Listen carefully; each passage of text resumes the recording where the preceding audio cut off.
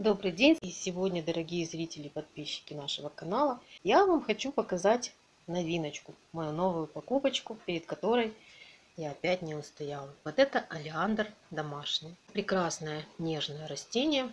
Я купила, проходя. Растут и в офисах. У нас растет в сети-центре. Мы как-то с дочкой отщипнули два кусочка. Садили его в землю. Нам сказали, что можно в землю. Но что-то он не принялся. А вот сегодня это я купила в базаре расспросила. Бабушка сказала, это очень неприхотливое растение. Его, правда, нельзя не перевлажнять, не пересушивать, умеренно поливать. Растет, она сказала, очень медленно.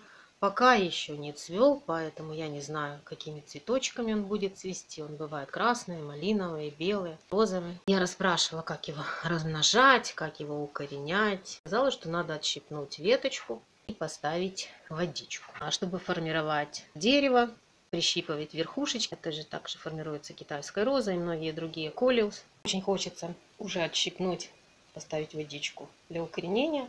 Ну, дам 10 дней, чтобы оно адаптировалось к новой обстановке.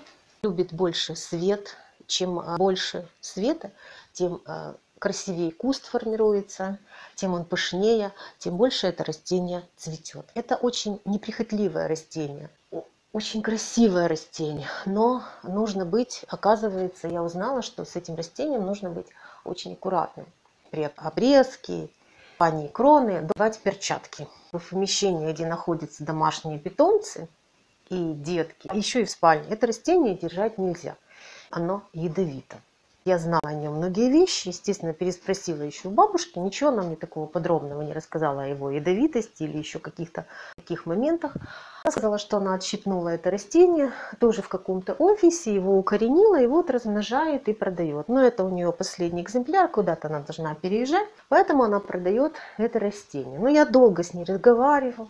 Уже многие люди подходили, тоже хотели его купить, но так как я уже держала его в руках, естественно, оно осталось у меня. Я вот со стола поставлю его на окошко, и мы посмотрим, как оно смотрится еще на окне. Вот это замечательное растение. Это окошко выходит у меня на юг. Это, это окно москитной сеткой, то не совсем прямые солнечные лучи попадают, а рассеянный свет. Я это растение полью настойкой, так как оно полито, я полью настойкой с банановой кожурой. У меня в бутылке есть банановая кожура, залита водой на литровую бутылку, там литр 250. Лежит одна банановая кожура, залита отстойной водой. Я отставила три дня. И оно постояло тоже три дня. Я полью сейчас этим.